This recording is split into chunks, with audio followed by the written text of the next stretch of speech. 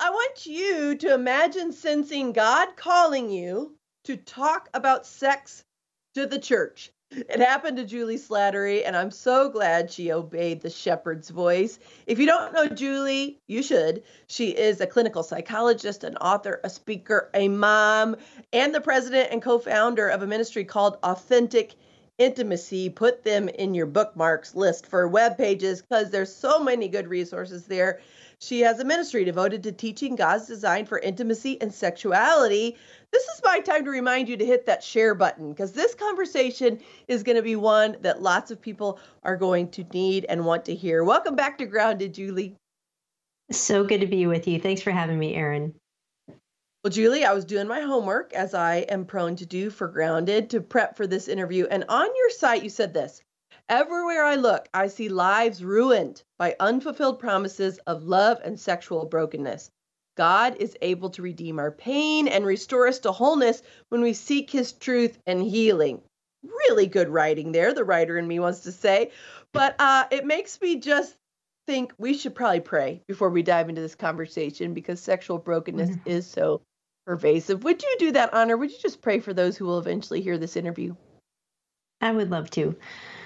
Lord, I thank you that you are concerned about every area of our life, including our sexuality. Uh, you're with us all the time. You're with us when we are tempted. You're with us even when we sin. Uh, you're with us when we were wounded. Lord, you're with us as we call out to you in pain. And Lord, I just pray that uh, each woman that uh, listening to this or watching this would have the sense of your presence and your deep love, not your condemnation, Lord, but your invitation to healing and to restoration. In Jesus' name, amen. Amen. Um, well, I think if there was one thing single women in the church might say, it might be, uh, but what about us? Uh, because we do sometimes talk about sexuality, but not necessarily in the terms that the single women need to hear. What other messages do you think single Christian women are getting in their churches about sexuality? What do you think they are hearing? Anything? Well, I think a lot of what they're hearing, unfortunately, is sort of a sanctified echo of what the world is saying, which is that mm. you can't be a complete person if you don't have sex. In the church, we say you can't be a complete woman if you're not married, um, which is implied you're having sex too. So I think single women are really struggling with um, with their value, with their worth, uh, with this feeling that my life must be incomplete physically and relationally and even spiritually if I'm not in an intimate relationship or having sex. Um, so I think that sort of undergirds this. There's also a lot of confusion, even when we talk about being single and sexual. A lot of single women and married women equate sexuality with actually having sex and not realizing that our sexuality is part of our humanity. It doesn't appear when we get married, it doesn't go away if we're single or widowed or divorced. We're always sexual people, and that's by God's design. And so, really helping single women and married women understand that their sexuality is about a lot more than just what they're doing with their bodies is an important part of this message. Yeah, I've also heard you say that we're all sexually broken, which has been so liberating for me. It's not the single woman who's not having sex who's sexually broken. It's not the married woman who is having sex who's sexually broken. Like we all have that shared brokenness, which is what gets us to Jesus. So I love that. You say there's a spiritual purpose for our sexuality right now, right this moment, even if we aren't married and having sex. So I would love to hear more about that. What is the purpose of our sexuality? Well, Dannah did a great job of introducing uh, the concept, but the idea is that God is always revealing through his creation. He reveals through everything he made. And you can't read a chapter of the Bible without seeing it referring to some sort of physical creation to explain the nature of God, whether it's trees or sheep and wolves or vineyards or hunger and thirst. And the same is true with our sexuality. God reveals uh, through male and female, He reveals through our longings. He reveals through the covenant of marriage. He even reveals through the pain of brokenness when covenant has been broken. And as Dannah alluded to, all of that is meant to reveal the nature of how God pursues us and loves his people with a covenant love. He loves us with passion, with intimate knowing.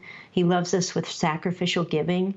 And so all of that is meant to uh, be revealed through our sexuality. And it's revealed in different aspects, whether you're single or married or what your journey is but our sexuality has so much significance because it's meant to be teaching us about the nature of how God loves us.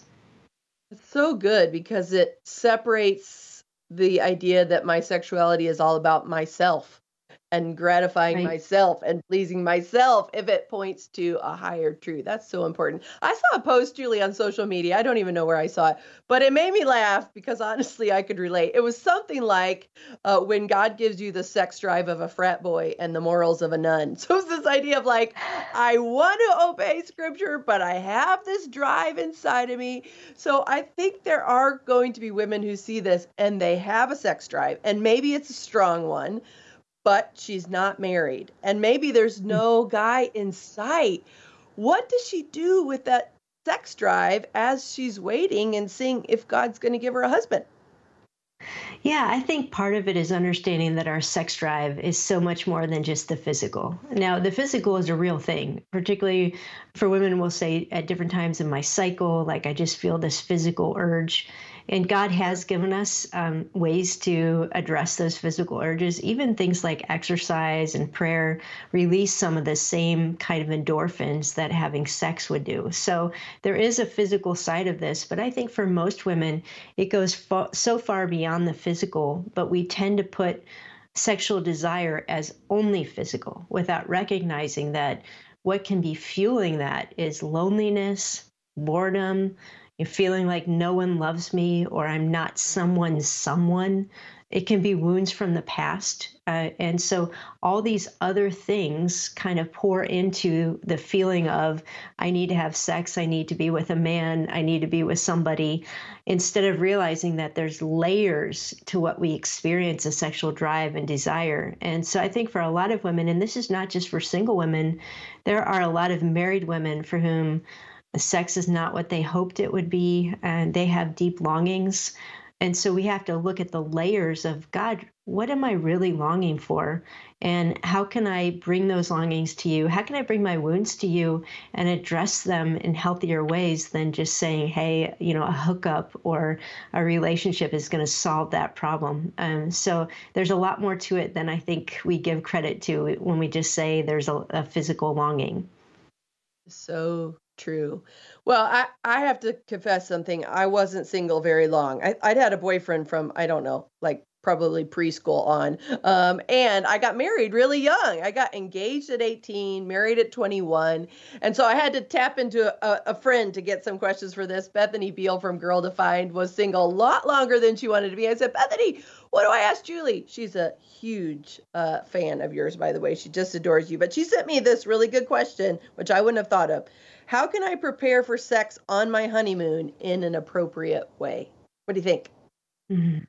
Yeah, I think the most important way you prepare is how you think about sex. And I've been in this field of talking about sexuality for the last decade, and I just keep learning and learning and learning.